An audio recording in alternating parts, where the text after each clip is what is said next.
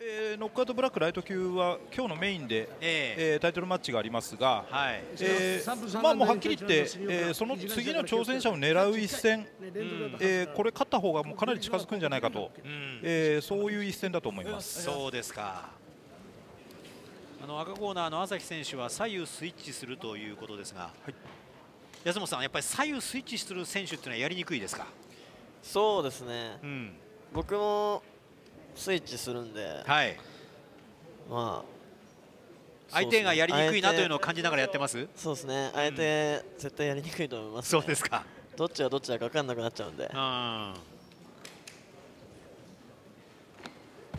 朝日選手はあの長野で、えー、プロデビューしてるんですけども、はい、あのその時に、えーとまあ、最初空手そこからあのテコンドーもやってたらしくて、えーまあ、そういったあのスイッチもそうですし足技をすごく使ってくるおっといきなり。これはノーダウン。これはノーダウンですが。はいはい。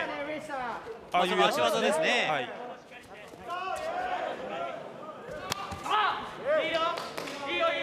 今朝日はサウスポースタイルで戦っています。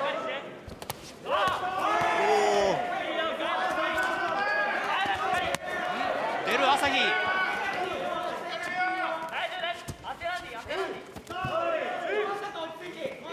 ここはブレーキが命じられていますこちら古村お互いに足を伸ばします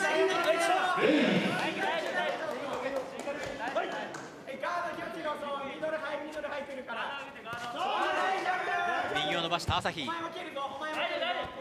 朝日選手がペース握りましたね。そうですね、ニュートラルコーナー。朝日が出る。効いてますね。はい。フルマン選手。はい。ロイドランスが朝日。こ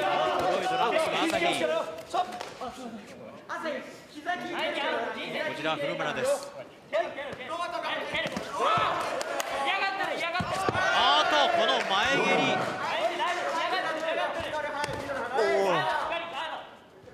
そっからパンチくるからガード上げとけそっから蹴りからパンチくる半分半分半分ハー。フタイムお前も蹴るぞ朝日選手は2月にあの1ラウンド KO でいい勝ち方したんですけども、はい、その時本当はあの最初、大谷翔二選手と今日今日の挑戦者の大谷選手とやるはずだったんですよね。あそうだったんですか、で大谷選手にも勝てると思って挑戦してたらしいんですけども、はい、なのであの本当にこうタイトルを狙う気持ちというのは強いので、だからそれがこうすごく自信になって試合に出てる感じがしますね。ずっと試合開始当初から朝日のペースという、ね、印象がありますが。また朝日が出ます。黒村も時折パンチを出したり蹴りを出したりしてはいるんですが。朝日が出る。右を返した。あっとボディボディ効いたこれはボディ効いた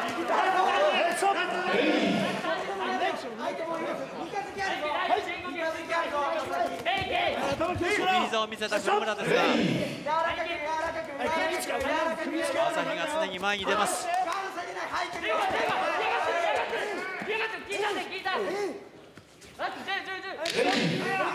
残り10秒です。なんとかローキックから活路を見出そうという古村。ここで第1ラウンド終了です。こちら朝日雄太郎です。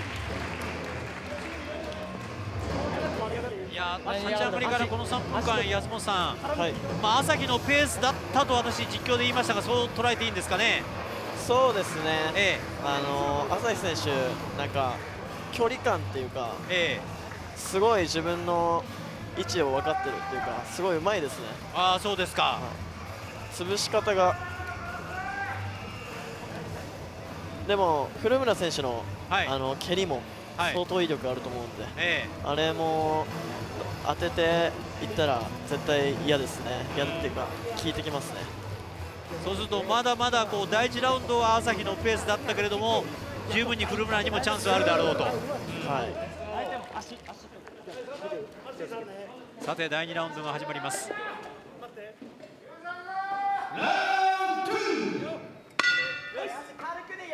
朝日はずっとこのサウスポースタイルで戦っています今度は古村が足を出しました。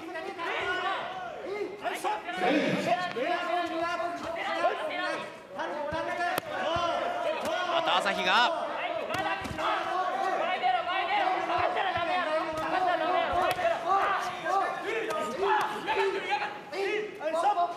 古村も膝を出しました。古村選手は多分1ラウンド朝日選手があんなにこうドア玉から出てくると思わなかったんじゃないかと思うんですよねあそうなんですか、えー、それで取られた気がするんですけど、はい、2ラウンドはやってくることが分かった分、はい、ちょっと落ち着いてできるのかなという気もしますが、まだまた鼻血出してますね、これね。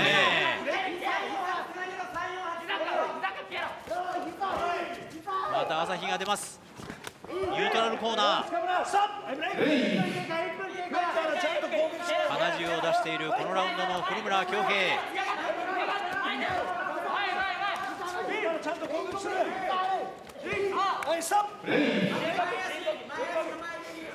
朝日選手、接近戦になっても負けないですよね。ここは古村、ようやく反撃に出るか。今度パンチからいった朝日。そして膝を出します。お互いに膝を出します。鼻血を出している古村。来ましたね。古村。ようやく古村が動きが速くなってきた。膝を出している。古村。古村選手の膝を出す。古村。朝日の前蹴り。今度は古村のミドル。おっと。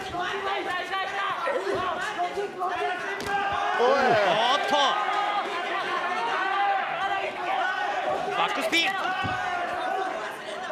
朝日の多彩な攻撃です。こ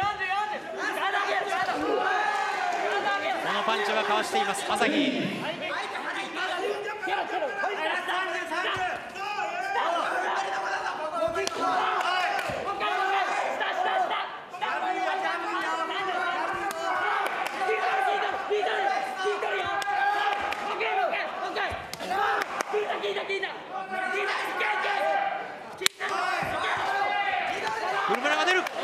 しいいタイミングで朝日の右のストレート、まあ、浅いパンチではありましたが入っています。こ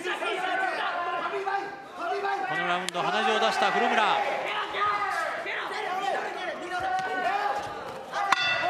第2ラウンド終了です。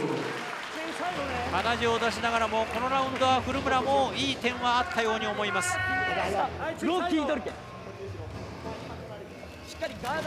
どうでしょう？第2ラウンド安本さんやっぱり古村も少しは変わってきたという感じを私は受けるんですがいかがですか？そうですね、ええ、自分のペースを掴んで、はい、あのー、効いてるところをちゃんと見抜いて、え、そこを打ってるって感じですかね。はい。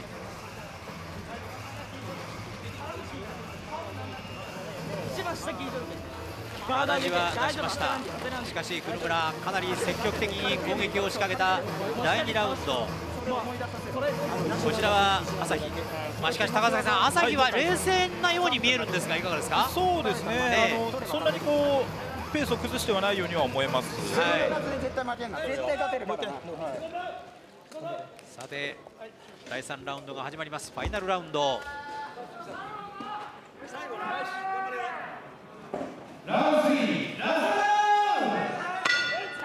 ラストラウンドが始まりました。朝日。また朝日が出てくる。うまく体勢を作りながらパンチをキックを出します朝日。あまた鼻血が出ている古村です。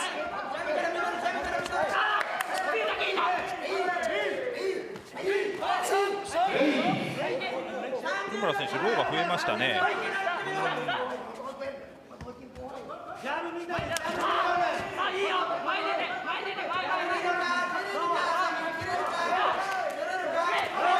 あっといいキックです。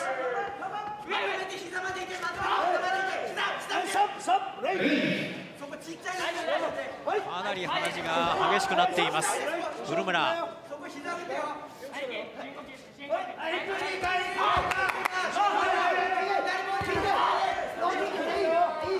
こはクリスモから膝を出す古村です。こちらは朝日。ちょっとこのラウンド手数的にはあまり多くはありませんが時折見せる前蹴りは非常に有効です。安本さんあの前蹴りいいですね。朝日のね。はい、えー、すごいなんか重心がしっかりしてますね。はい。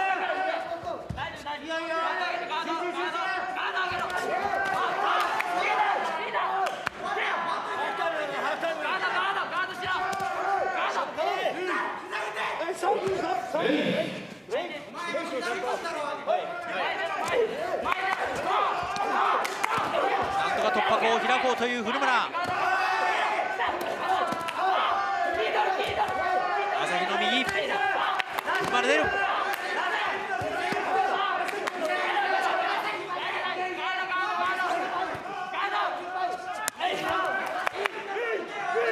盛んに古村がいろいろな蹴りを出してくるんですが巧みにかわしながら朝日が出ます。またブレイクです。鼻血で真っ赤。古村の顔面です。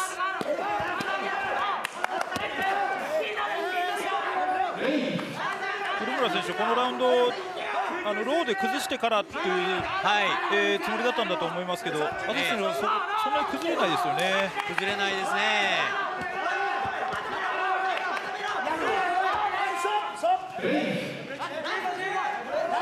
残り時間少なくなってきました。ファイナルラウンド。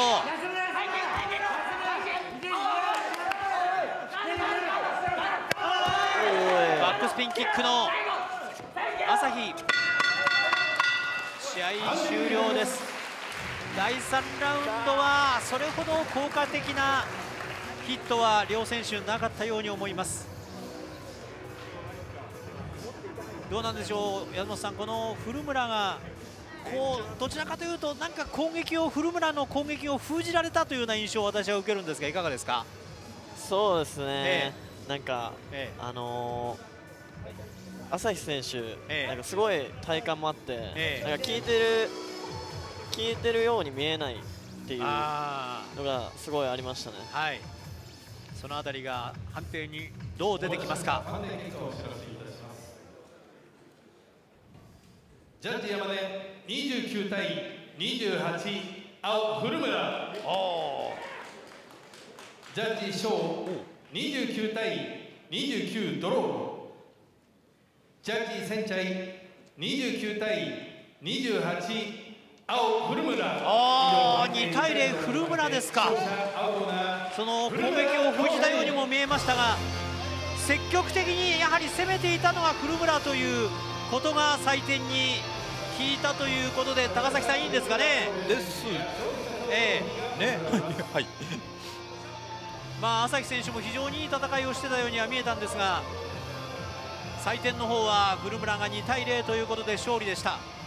まあしかしあの安本さん非常にこれ難しい採点だったようには思うんですが。そうですね、うん、あの古村選手すごいあの積極的に前に出て、はい、まあ、やっぱ1ラウンド目はあの、はい、やっぱ朝日さんが、朝日選手が、あの取ってたと思うんで、そこを分かって前に出れるってすごいと思いますね。はい、鼻血を出しながらも、まあ、判定で2対0古村が朝日を下したという第4試合。ノックアウトブラックライト級の3分3ラウンドの試合でした。